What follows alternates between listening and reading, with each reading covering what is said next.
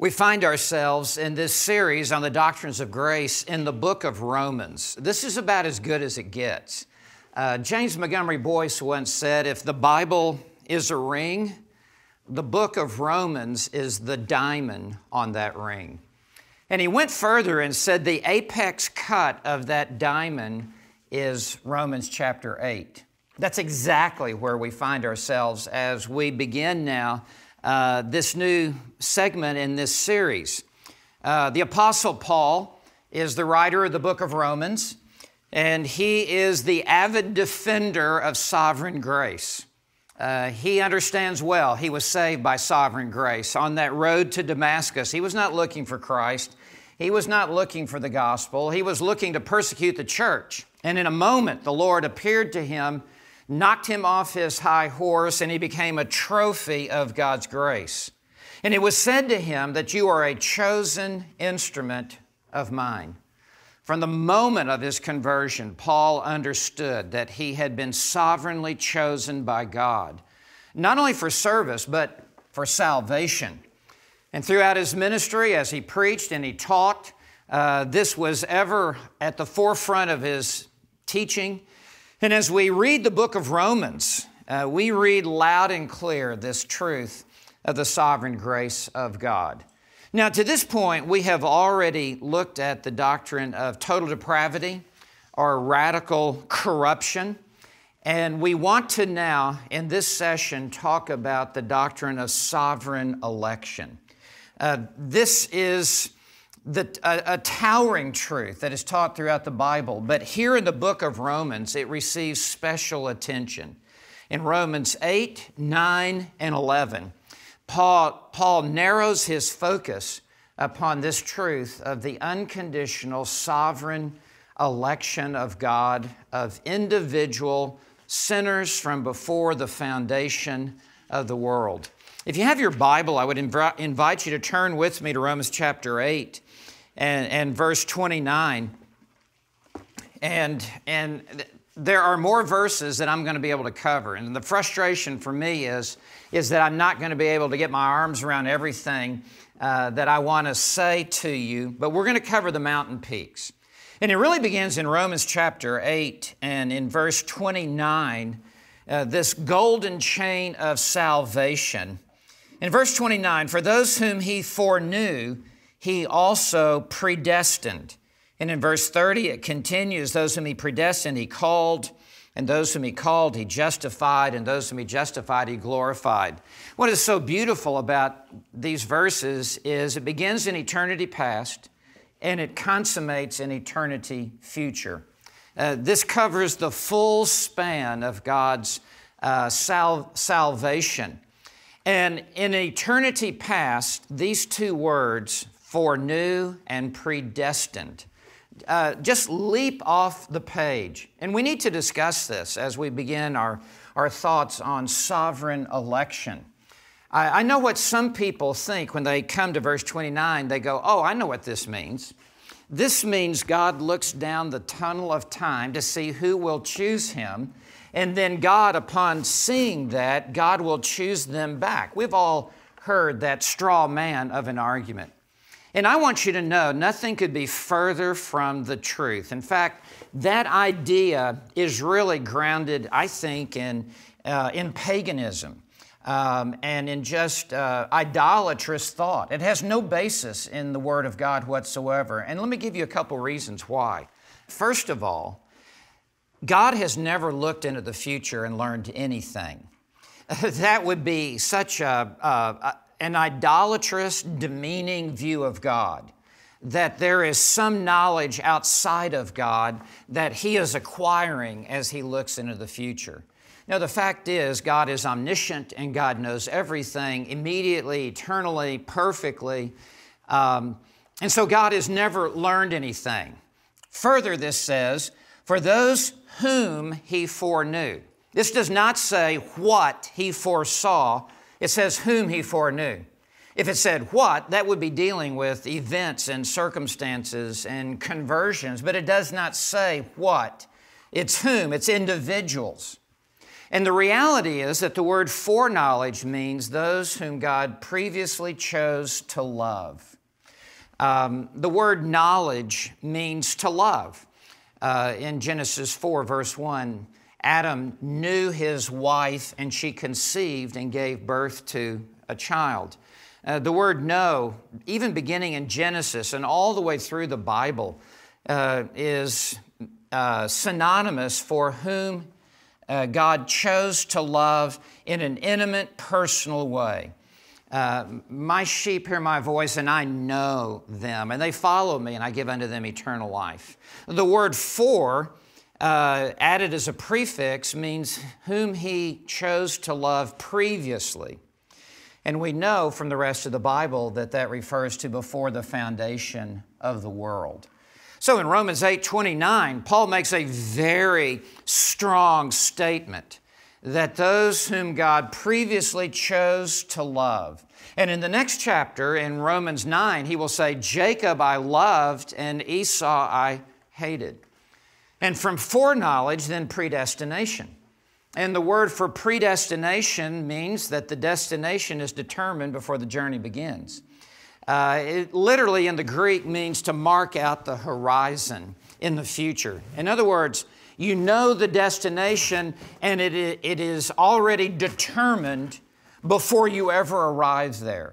And so predestination follows foreknowledge in the sense that predestination makes it irrevocable, it cannot be altered or changed.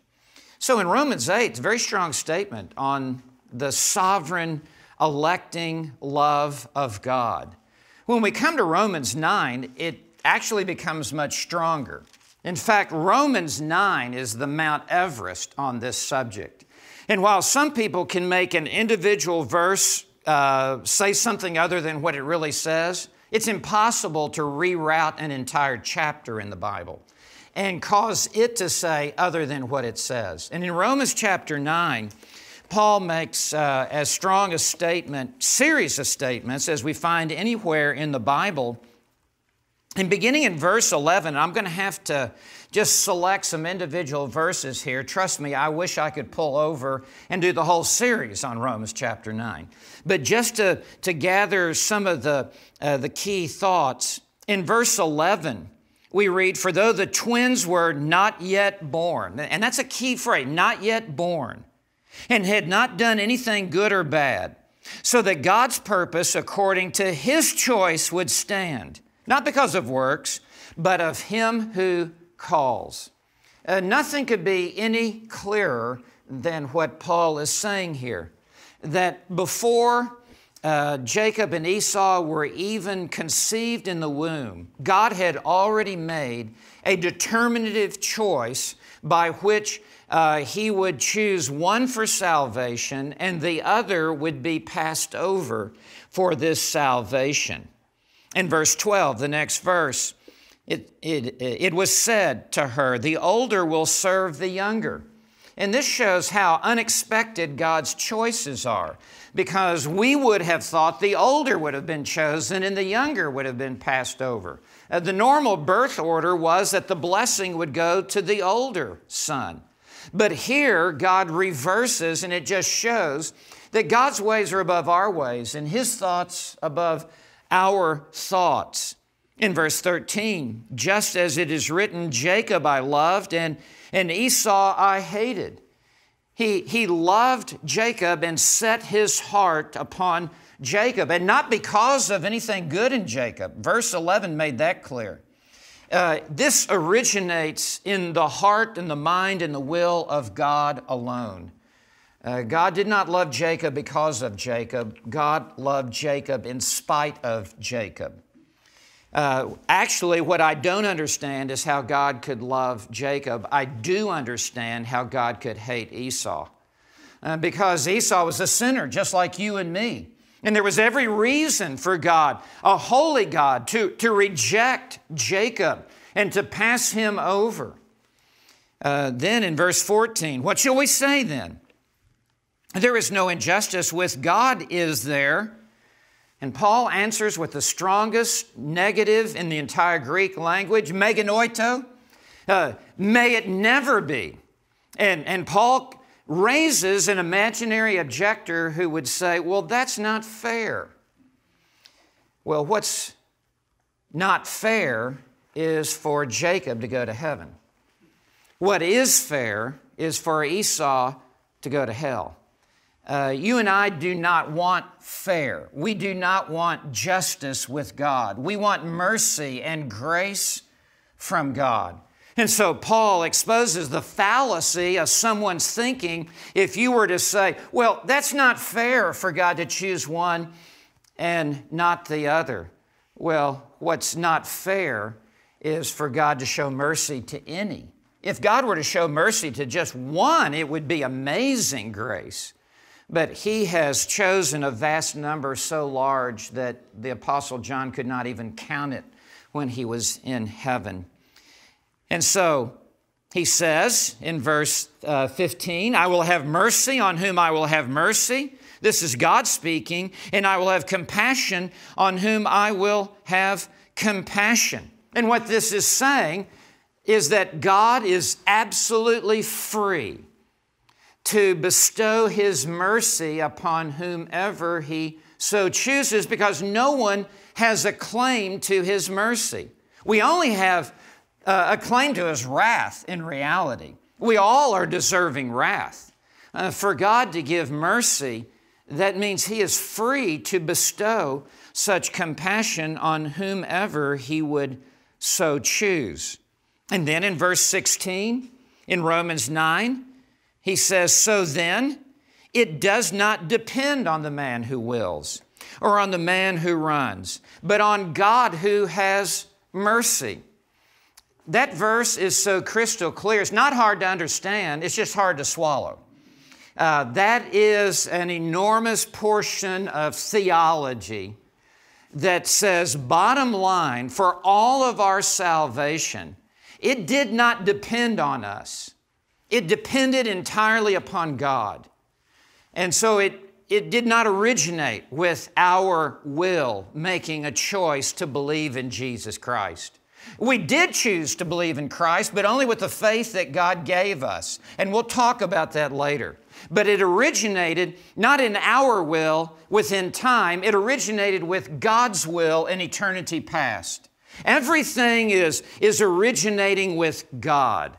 And that's why in Romans 11 36, later he will say, For from him and through him and to him are all things. To God be the glory forever and ever. Amen. So everything is proceeding from God in eternity past. And then in verses 17 and 18, we see what a discriminating choice God has made. For the scripture says to Pharaoh, For this very purpose I raised you up, to demonstrate my power in you, and that my name might be proclaimed throughout the whole earth. So he has mercy on whom he desires, and he hardens whom he desires. It's, it's in the hands of God to do what pleases Him and what most honors Him. And God chooses to, to, to pour out mercy on some, and God chooses to pour out wrath on others.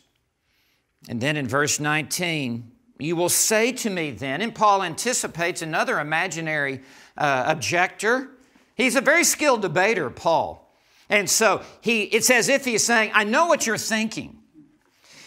You will say to me then, why then does he still find fault? For who can resist his will?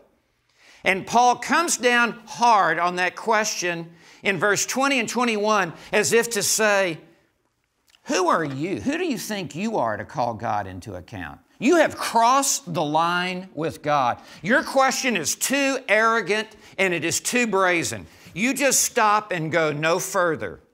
And so he will say in verse 20, On the contrary, who are you, O man, who answers back to God?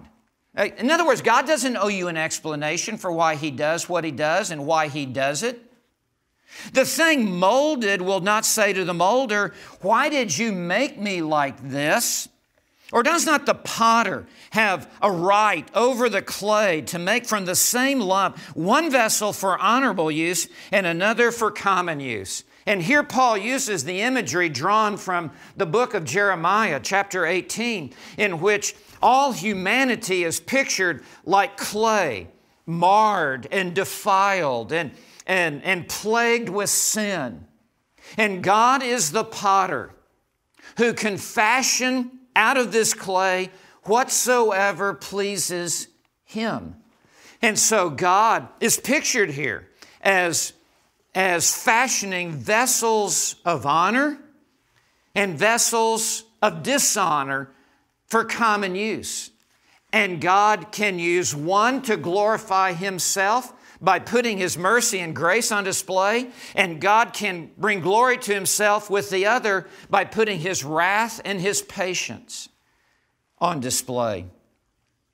And then in verse 22 of this monumental chapter, we read, What if God, although willing to demonstrate His wrath and to make His power known, endured with much patience vessels of wrath prepared for destruction? And he did so to make known the riches of his glory upon vessels of mercy, which he prepared beforehand for glory. Even us, whom he also called, not from among Jews only, but also from among Gentiles. You know, there are some clever people who try to reinterpret this as saying, well, this is not God choosing for salvation, it's God choosing for service. Well, I want to tell you, there's far more going on here than, than being a nursery worker. Uh, we're talking about eternal destinies. Uh, we're talking about being a, a vessel of grace or a vessel of wrath.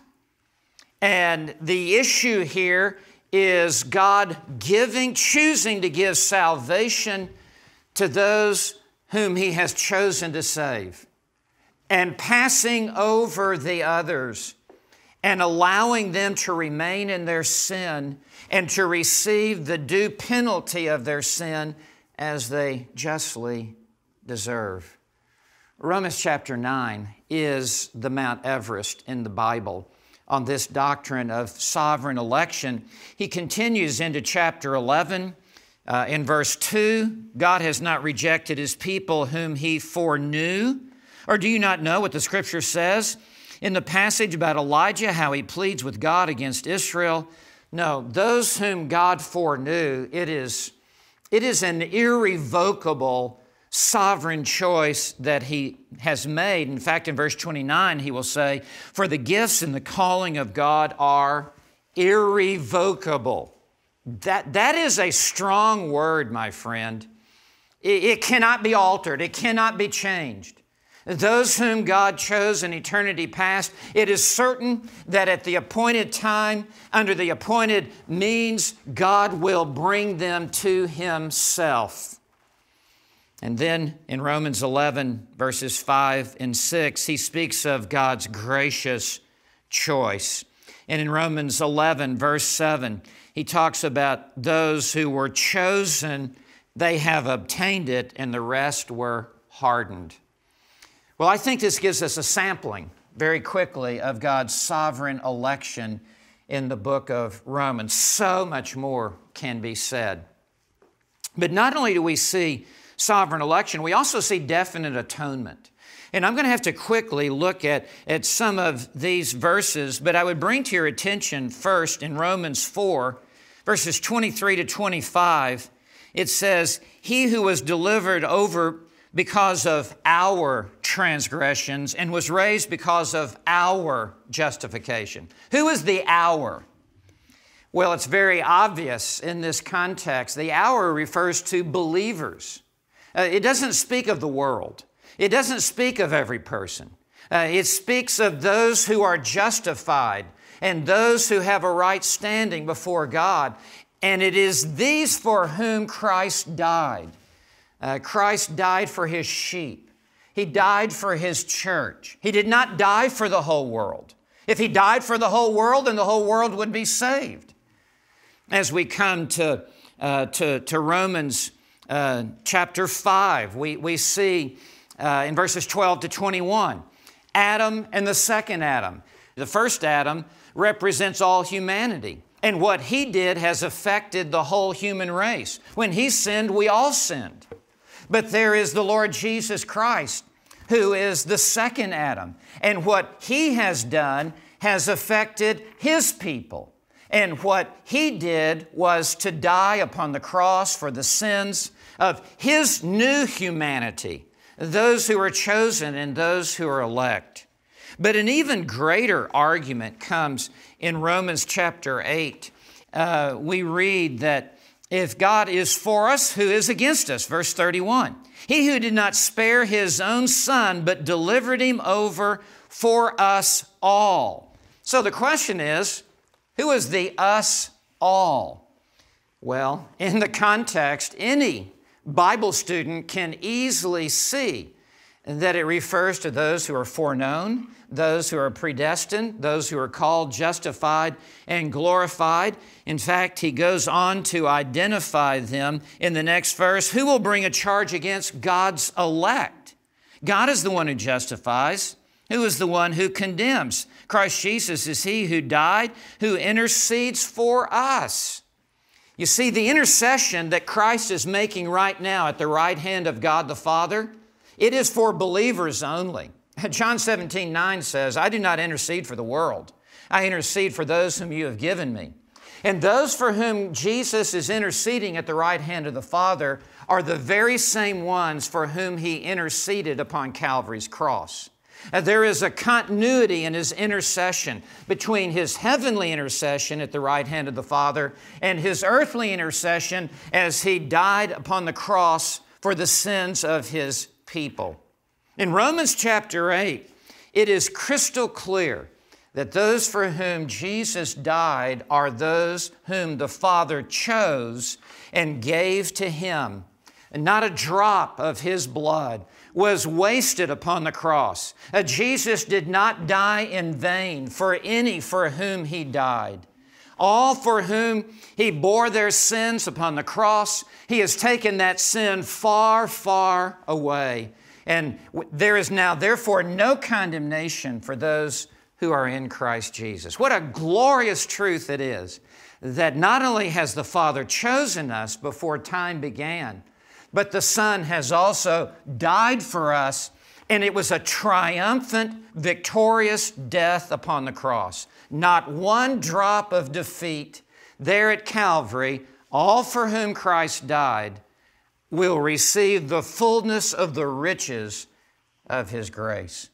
Well, may God give us great understanding into these verses because they are verses that honor and glorify God the Father and the Son.